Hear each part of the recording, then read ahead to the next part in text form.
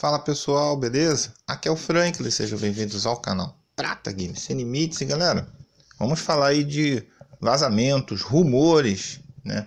Mais duas, mais dois sites, desculpa, fizeram duas listas aí, cada um listas diferentes. E olha que são listas bem superiores àquela que eu passei há cinco ou seis dias atrás, não lembro muito bem.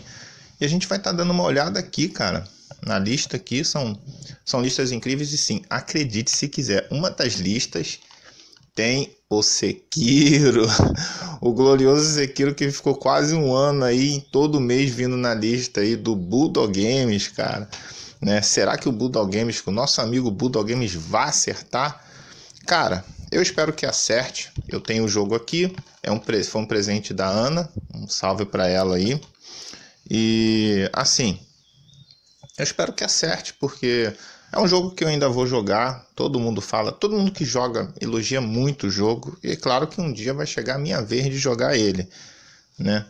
Por enquanto ele está aqui guardadinho, bonitinho. Então vamos dar uma olhada nessa lista aí, cada uma delas. Eu vou estar tá dando a minha opinião, né?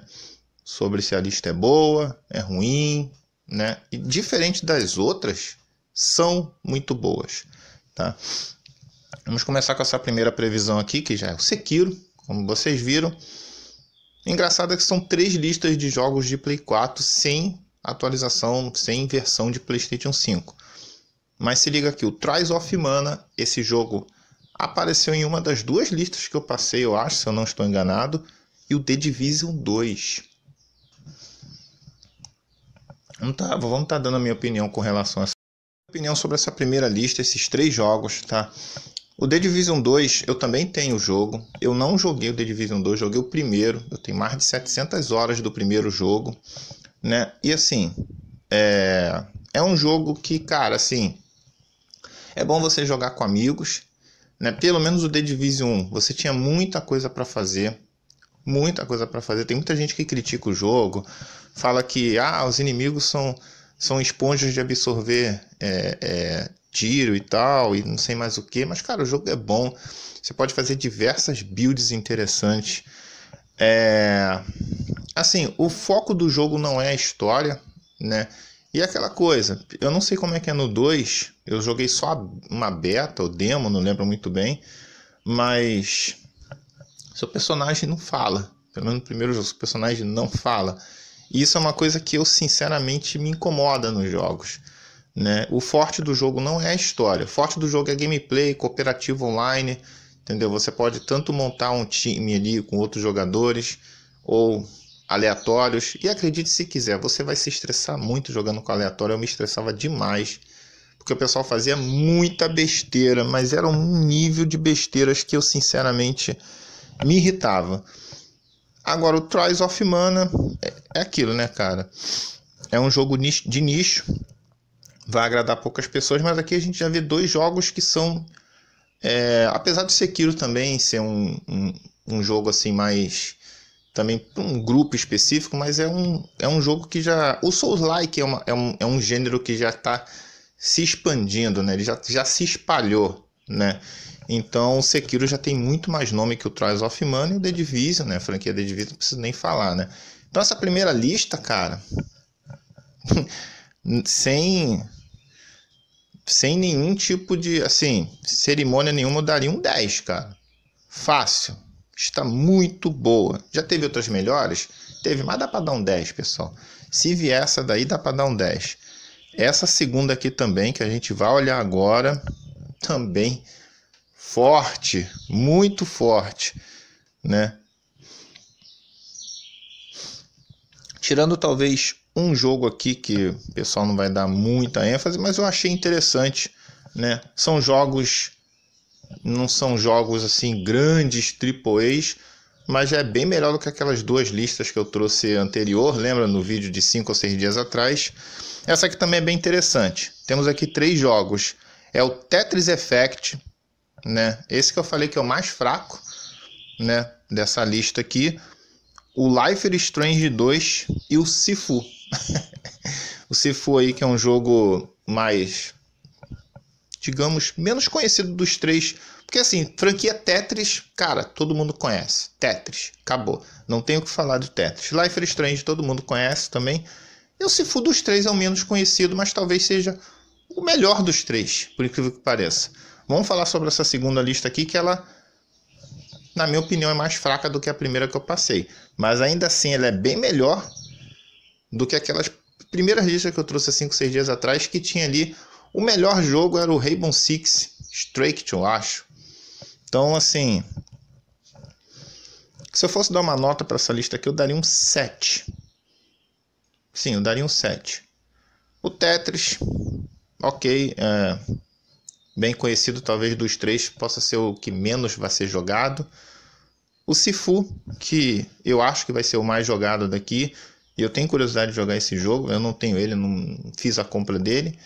E o Life is Strange 2, eu, tirando pela experiência que eu joguei o primeiro, e o Before, eu acho que é assim que se fala, que eu, eu considero esse um 2, né? Mas beleza, eles não consideram. Esse aqui, se não estou enganado, é com um garoto, né? Eu acho, não tenho certeza. Então, eu acredito que dos três aqui, o pessoal vai mais jogar seria o Sifu, né? Bom, olha só, pessoal. É claro que na minha opinião, mesmo eu tendo dois dos três jogos lá que eu não tenho Trials of Mana, eu preferiria mil vezes que a viesse a primeira lista. Pessoal, não sei se vocês repararam nisso, mas esses últimos sempre houveram muitos rumores e vazamentos, né? Sempre teve, sempre teve. Mas o, o nível de acerto dos sites eles eram, digamos, pequenos, mas o pessoal acertava. Vocês vêm reparando que os sites vêm errando muito mais, até mesmo o francês, que ele não erra, mas ele agora tá, ele só consegue é, falar os jogos algumas horas antes. Tipo, às vezes só uma horinha antes ele passa, depois do nada a Sony vai lá e oficializa. Eu não sei vocês, mas acredito eu que nessa questão de evitar que vaze os jogos oficiais, parece que a Sony ela tá mais é, eu não sei, eu não estou conseguindo achar a palavra certa. Parece que ela tá, ela melhorou a segurança, vamos, vamos falar assim. Parece que ela melhorou a segurança. Porque antigamente vazava mais, tinha sites que pô, acertava, tipo, eu não lembro se foi o de janeiro, teve um site que ele vazou dias antes, ele acertou o Dirt, é, acho que foi Dirt 5 Persona, não lembro muito bem. Ele acertou dois de três jogos. Então, assim, é, antigamente os sites vazavam muito, mas conseguiam acertar.